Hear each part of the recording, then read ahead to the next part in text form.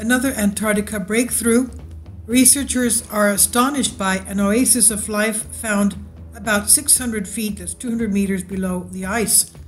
The researchers made a stunning breakthrough after discovering 77 species living beneath Antarctica's extreme ice shelf. In what's been dubbed an oasis of life, it's spectacular that there's evidence of a marine ecosystem dating back 6,000 years. Conditions under the Antarctic ice shelf are harsh, as we know, being extremely cold, perpetually dark, and food sources are almost non existent. And that's why finding life there was so surprising for the scientists. Among the life found there were saber shaped moss animals and very unusual worms. The researchers from the Alfred Wegener Institute in Germany drilled two holes through nearly 656 feet, 200 meters of the extreme ice shelf near Neumayer Station 3 in the southeastern Weddell Sea back in 2018. Even though this area is several miles from the open sea, the biodiversity of the specimens that researchers collected was very rich. They said it was uh, even richer than a lot of open water samples found on the continental shelf, where it's lighter and there are more food sources. Researchers said that fragments of life collected on the seabed were extraordinary and came as a complete surprise to them. Dr. David Barnes, marine biologist at the British Antarctic Survey, lead author of the study, said this discovery of so much life living in these extreme conditions is a complete surprise and reminds us how Antarctic marine life is so unique and special. And they have images of marine ecosystems dating back 6,000 years with um, fossils of uh, shell life. Now it's amazing we found so many of uh, many animal types. Most feed on microalgae, phytoplankton, yet no plants or algae can live in this environment. Kindly support my Patreon account.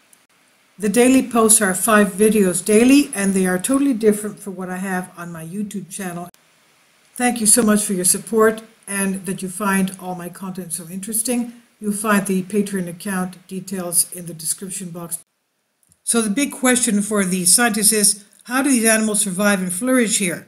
The research team worked out that there is likely enough algae that has been carried under the ice shelf from open water to fuel a strong food chain there.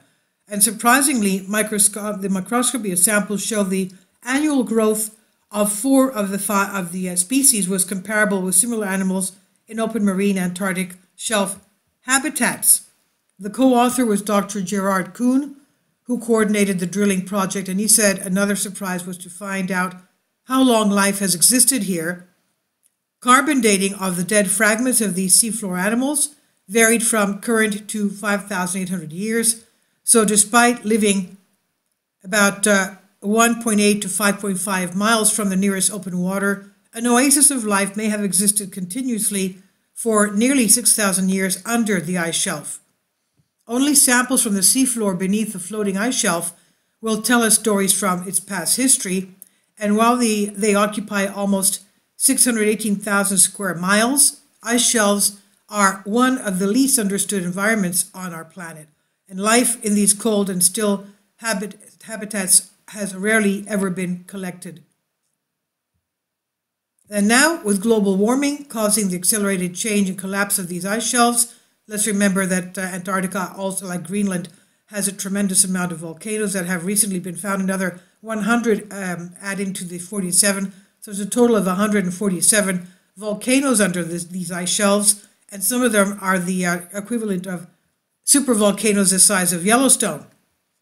Anyway, um, the collapse of these ice shelves is accelerating. Time is running out to study and protect these ecosystems. And the study's been published in the journal Current Biology. This is on um, Express UK by Jacob Paul. Please leave your comments and thank you for your support.